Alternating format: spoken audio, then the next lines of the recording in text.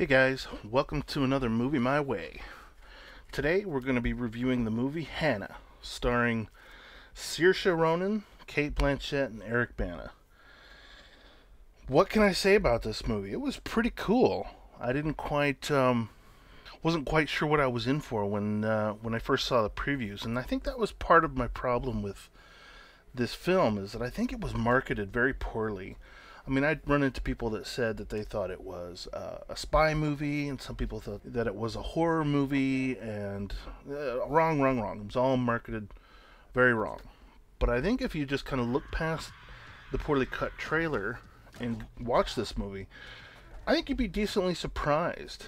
Um, this whole film had a really good vibe to it. I don't know what it was. I think it was just a combination of the visuals and the and the locations and the and the acting and the music. Oh, the music was way cool. And I'll have to point out that that I love the trend that this is kind of going in, kind of like uh, you know how uh, Trent Reznor did the Facebook movie.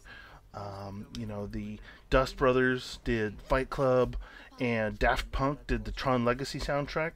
The soundtrack was done by the uh, Chemical Brothers, which was a really nice touch. I really dug on on the music in this film. It really kind of just set this overall mood and, and vibe to it. It was really good. I was able to find a clip to kind of show you how this all works. So check this little sequence out.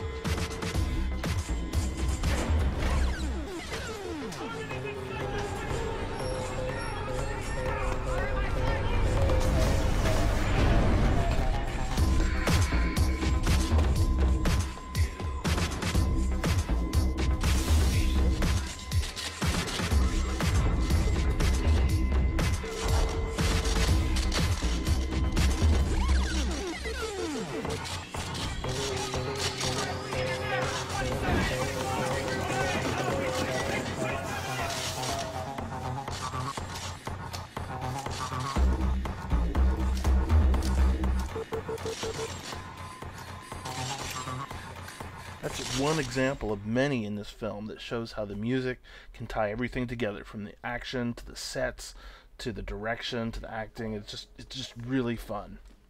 Um, real strong supporting cast. Um, both Eric Bana and Cate Blanchett were really good. A uh, lot of lot of weird, quirky kind of character-driven things that they did with their characters really made made the kind of story pop. You know, you, you kind of look at it and go, wow, why'd they do that? But they did it consistently and they did it well. I really like the juxtaposition that this movie portrayed with her kind of being uh, the main character, Hanna, being so sheltered, you know, being, but yet being a trained, you know, assassin basically by her father. And, and you know, you get to kind of see the awkwardness where she doesn't even really know what electricity is. She doesn't know how things operate. I thought the directing in this movie was great. I thought that um, he utilized the screen from edge to edge, and I thought that was really cool. I wish I could show you some more specific examples, that I'm only limited to what the trailer can show me. So, uh, the good, it was just fun. Uh, it was just fun from beginning to end.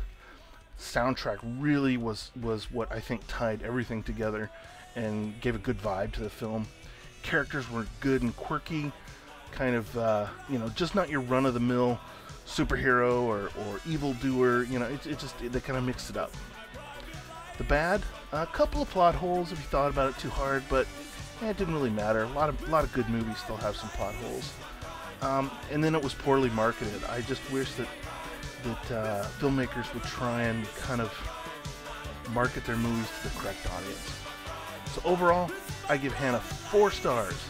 Good film, uh, fun time, and uh, I highly recommend you check it out. So, thanks for watching, and this has been another movie my way.